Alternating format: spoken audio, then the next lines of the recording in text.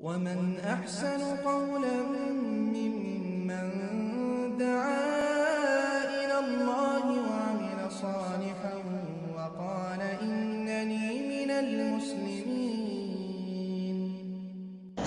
ওয়ালাইকুম আসসালাম রহমতুল্লাহ বরকাত জি ভাই আপনার প্রশ্নটি হচ্ছে হাজবি রব্বি জাল্লাল্লাহ মাফি কালবি গাইরুল্লাহ নূর মোহাম্মদ সাল্লাল্লাহ লা ইলাহা ইল্লাল্লাহ এটার অর্থ কি হাজবি রব্বি জাল্লাল্লাহ আমার জন্য আমার প্রতিপালক, যিনি সুমহান তিনি যথেষ্ট।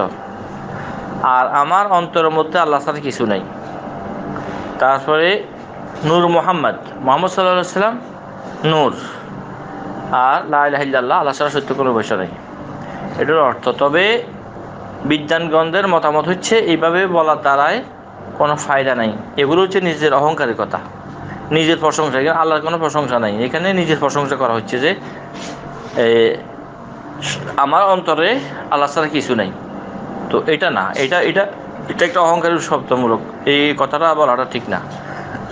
আর নূর মোহাম্মদ মোহাম্মদ সাল্লাহ সাল্লামের নূর বলতে এটা অস্পষ্ট কথা নূর বলতে এখানে কিছু অন- যে ভুল ভ্রান্তিরও আছে। মানুষের নবী সাল্লাহ সাল্লামকে জাতি নূর বলা হয়। নবী সাল্লাহ সাল্লাম সুরটা নজর তৈরি। যদি নবী সাল্লাহ সাল্লামের শরীর নজর তৈরি বলা হয়, তাহলে এটা প্রান্তের শিকার। এটা আলোচনা তর্জমা থাকিতে বিশ্বাসের সম্পূর্ণ বিপরীত। তাই আসলে এই ধরনের এগুলো আর পিছনে পড়া আমাদের ঠিক না। বাকি আল্লাহ আলম বিশ্বাস সালামু আলাইকুম রহমতুল্লাহ বরকাত